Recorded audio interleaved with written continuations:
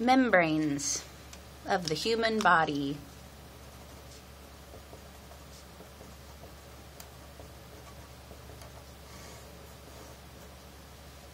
A membrane is a covering, usually that reduces friction and also provides a little bit of protection.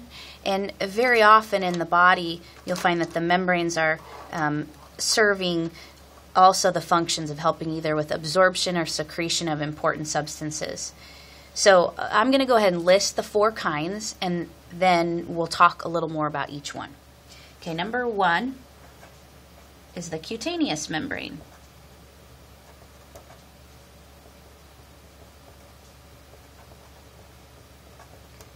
That is your skin or your integument. And we've talked about that a bit already on a different page of your notes, but just for review, I want to remind you that the skin has a lot of keratin in it, and that allows it to be waterproof. And keratin is just a, a waterproof protein that uh, it actually has wa- some wax. It's waxy, so it has fat in it that allows the waterproofing to be successful. And uh, the top layer of your skin, the epidermis, is mostly dead cells.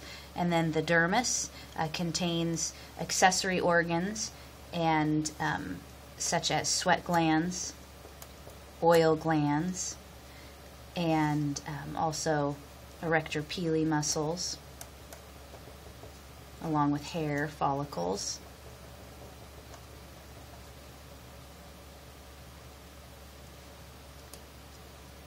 And this should be filled with normal flora. We're going to make a point of contrasting. Some membranes have a lot of bacteria and others don't.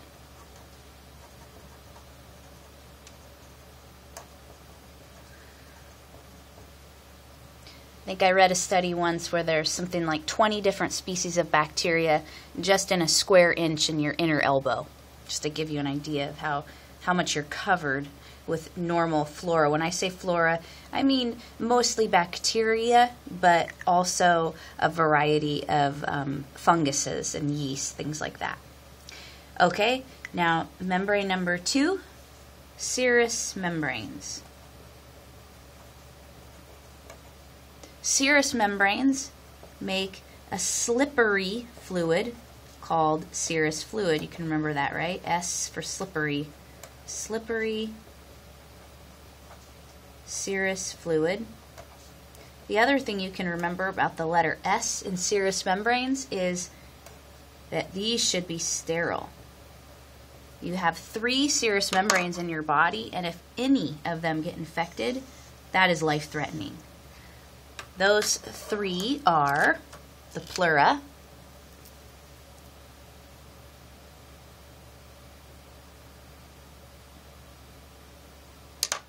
using blue.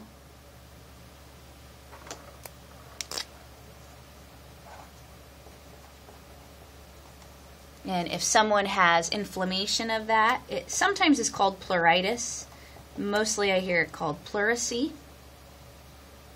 and the serous fluid helps actually with the in, inflation of the lungs as well. And then uh, look, this this is a human from the side, and so you're seeing from the side some cut coils, the mid sagittal section, and the peritoneum surrounds each coil of intestine. So you see the word peri means around and onium means intestine.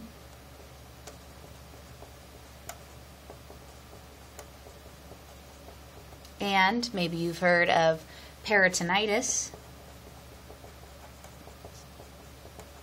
If any kind of fecal matter in the colon perforates the colon, the, for example, in appendicitis, if the appendix bursts, then fecal matter can get into the abdominal cavity and the peritoneum can become infected, and we call that peritonitis. And then, last but not least, the pericardium is a membrane that surrounds the heart.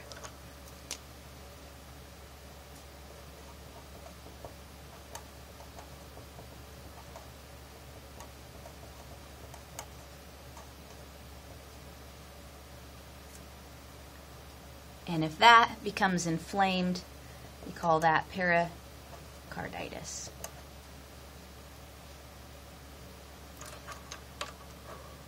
So we'll come back a little bit more to the structure of the serous membranes, but for now you can know that these are all um, serous membranes. There are three of them, and they all start with a P. Pleura starts with a P, peri- peritoneum starts with a P, and pericardium starts with a P. Okay, then over probably to my favorite kinds of membranes in the body, the mucous membranes.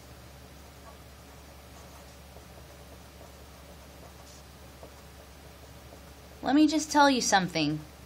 If you want to keep from having diarrhea, if you want to keep from having respiratory infections and sinus infections and vaginal infections or urinary tract infections, then the best thing I can tell you to do is have your body covered in normal flora. That means play in the dirt and eat a lot of yogurt. Maybe a little bit of simplification there. But the idea is is that normal flora abound in the mucous membranes, and the best way to keep out the ones that are going to make you sick, the salmonellas and the E. coli in the urinary tract, or the candida in the vaginal tract, the best way to keep those out is to have the good guys there and acting as bouncers, essentially. We'll learn more about that in microbiology. Okay, so one mucous membrane is the GI tract. Just like it sounds, it's going to be making uh, mucus, and that mucus re- reduces friction as foodstuffs move through the GI tract.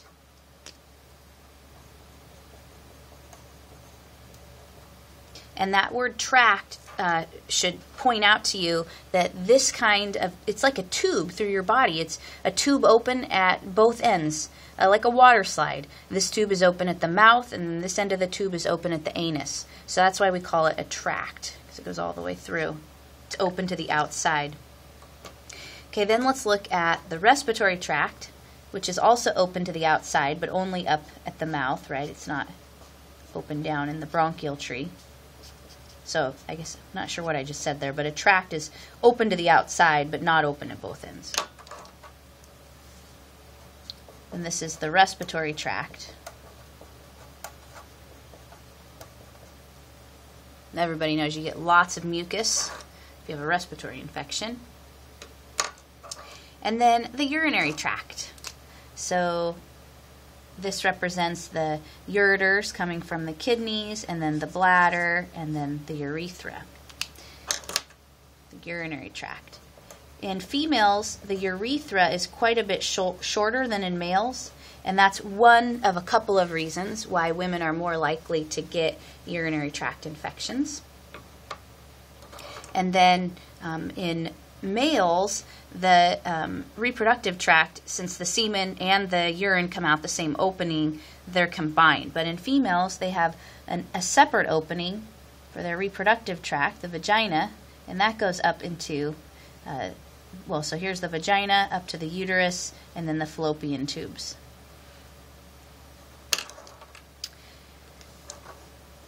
Maybe you've heard of pelvic, pelvic inflammatory disease. Unfortunately, what can happen with that sometimes is let's say that a young girl is sexually active and not telling her parents or anyone about it, and she gets uh, what originally starts as you know a reproductive infection um, that but then it spreads and it spreads up into the uterus and then potentially even into the abdominal cavity and it can cause so much scarring in the fallopian tubes that it can cause sterility so it's really important for teenagers if they're sexually active uh, to make sure that um, that they're willing to talk to somebody about it even if they're embarrassed and then there's one other mucous membrane, and that is in the eye. where it covers the both the, um, it covers the cornea and actually the underside of the eyelid, and we call that the conjunctiva. And if that um, gets an infection, then that's uh, what we call pink eye or conjunctivitis.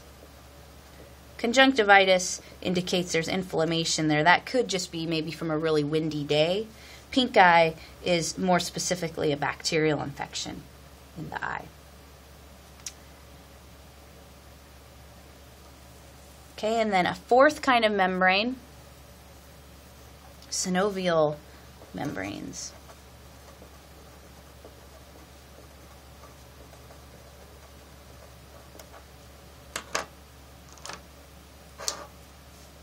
And these are only found oops,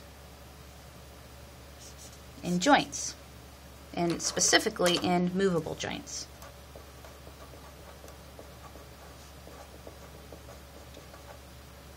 And they reduce friction, they cushion the joint, in this picture, if you imagine this is your femur and this is your tibia, you'll have a synovial membrane between the two and then synovial fluid inside of that that helps cushion the joint. So this would be the membrane.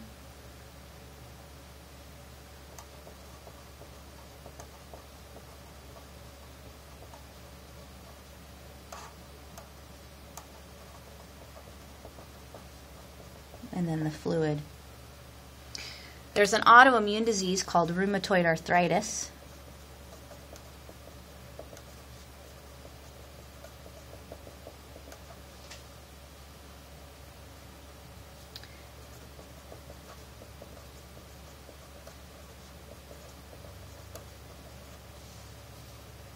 And that is when the person's own white blood cells attack their own synovial membranes. So any autoimmune disease is a case of the body, the body's immune system attacking itself. It's sort of like friendly fire, where in a battle that you should be taking out the enemy, the pathogens, instead the white blood cells are hurting their own um, parts. Of course, this can be painful. There's um, swelling, and eventually the bones deform too defor- deformation of the joints can um, occur after many years of the disease. Uh, while we're here, I'll mention there's a strong link with gluten sensitivity.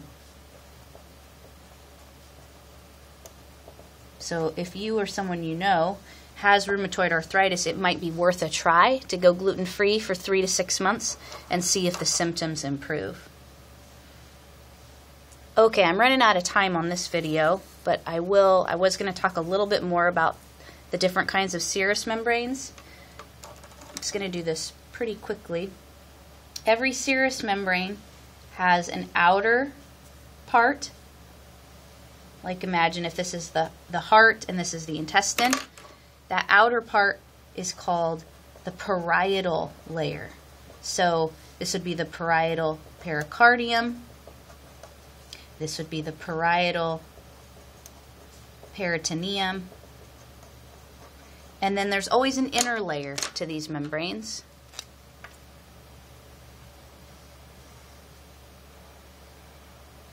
That's right upon the organ.